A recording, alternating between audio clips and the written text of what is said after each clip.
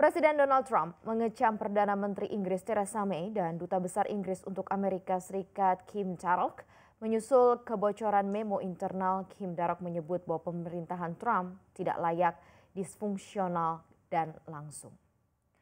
Dalam cuitannya di Twitter, Trump menyebut dirinya tidak akan lagi berurusan dengan Kim karena tidak disukai di Amerika Serikat.